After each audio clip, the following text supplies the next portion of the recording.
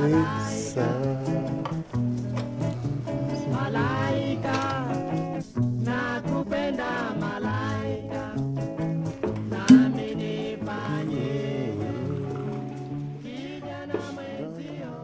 are as many stories and songs about unrequited love as there are drops of water in a pour of rain. It is almost a general rule that a broken heart will inspire a beautiful piece of art, some of which have gone ahead to define generations. And so the story goes that a Tanzanian man named Ahmed Salim fell in love with a girl, Halima, and couldn't marry her. The parents disapproved of the relationship. So she was married off to a wealthy Indian man, and he was left to, you know, pour the fragments of his tattered heart into a song. Or so the Tanzanians claim. You see, the song in question is Malaika, only the greatest Swahili love song ever written. But by who?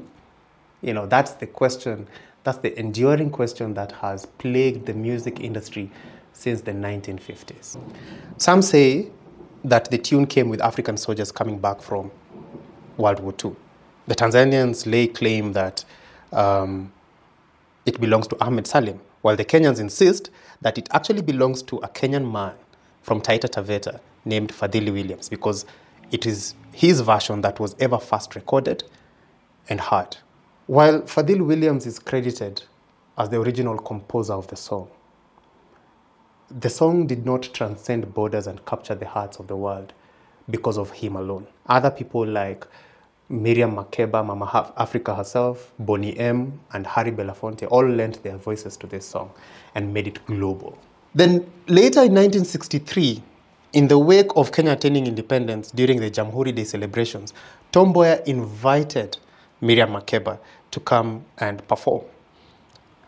But there was one problem. Makeba didn't understand Kiswahili. She's South African, after all. So what did he do? He had her listen to this song over and over again, and then before performing the song, he scribbled down the lyrics to the song for her to refer to.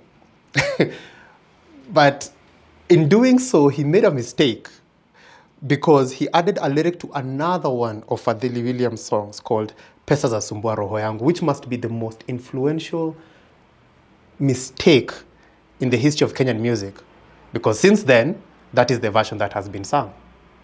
Curiously, though, when performing this song later on in Paris, she introduced Malaika as a song from Tanzania, Here's a song that comes from Tanzania. which gives credit to the Ahmed Salim claim by the Tanzanians. But there is context. Makeba was a political exilee due to apartheid. And in that chapter of history, Kenya does not really feature as gallantly as Tanzania did, to say the least. And so I guess we will never truly know without a hint of doubt who composed Malaika. Perhaps it was never meant to be owned by just one person. Perhaps Malaika was supposed to come into our lives to teach us a lesson that love can be magic, and sometimes magic can just be an illusion. And to that, I nod my head and raise my glass to a beautiful tune, Malaika. Cheers.